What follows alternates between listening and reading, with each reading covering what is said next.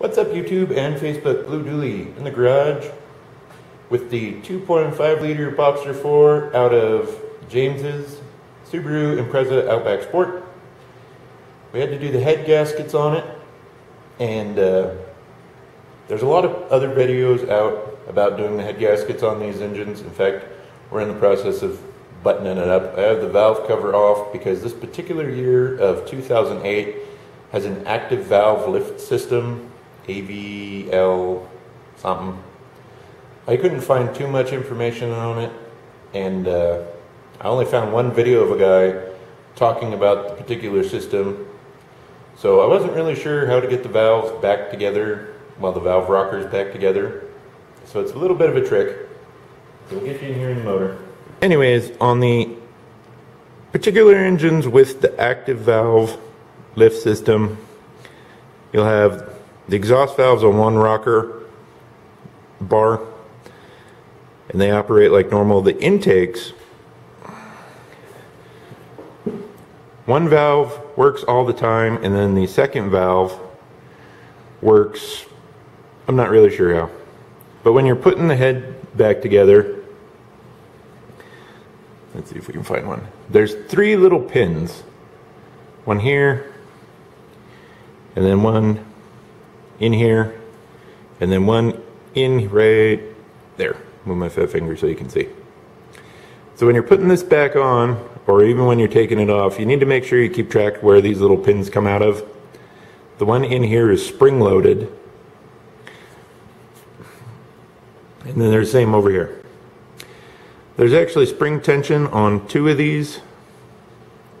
Again, not really sure how it works, but that spring tension makes it a little harder to put this rail back on, this whole assembly back on, once you've done the camshaft and put the cam cover or a cam holder in it. This is actually the first overhead valve engine I've worked on, so it's a little bit of a new experience. But I just wanted to point this out if you uh, haven't messed with the system before, that you got to make sure all these pins are in place. And when you're actually, you actually have to use quite a bit of force to push this down and then run the bolts in to even hold it in place. But you might need an extra pair of hands just to wiggle some of these pins around so you can actually get it flat and flush.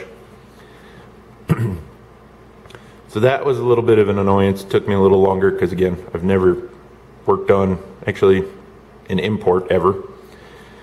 The other thing you're going to need, millimeter, get my hand out of the light, five millimeter that you can put a torque wrench to, a hex bolt or hex driver, so you can torque these little down guys down. And then you'll need a Torx bit for six bolts. And then that's just a 10 millimeter right there.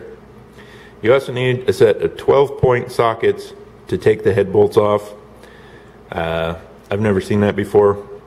The paint mark on this bolt and the other one, if you'd seen it, is you torque them down, then you tighten them so many degrees, and then you go another so many degrees. It's kind of an interesting way Subaru has you torque down the motor.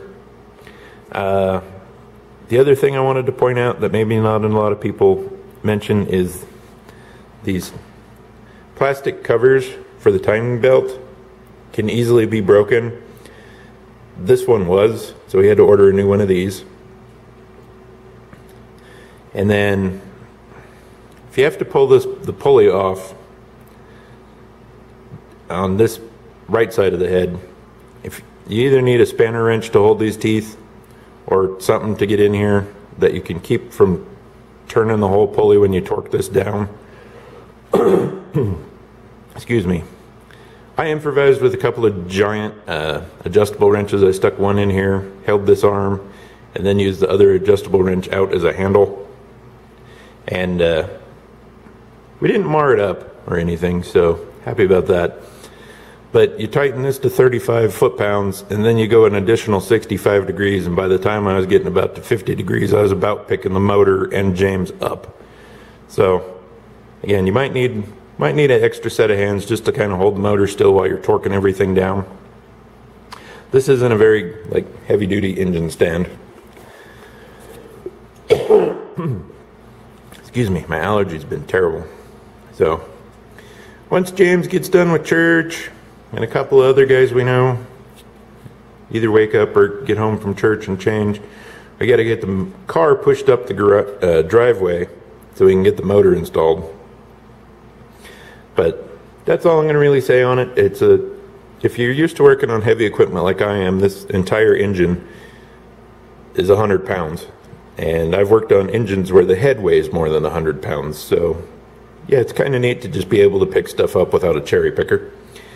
Anyways, hope that helps you out a little bit if you got to work on a 2008 Subaru with the active valve lift, whatever it is. That's the only ridiculous thing on the motor. This is a non turbo motor.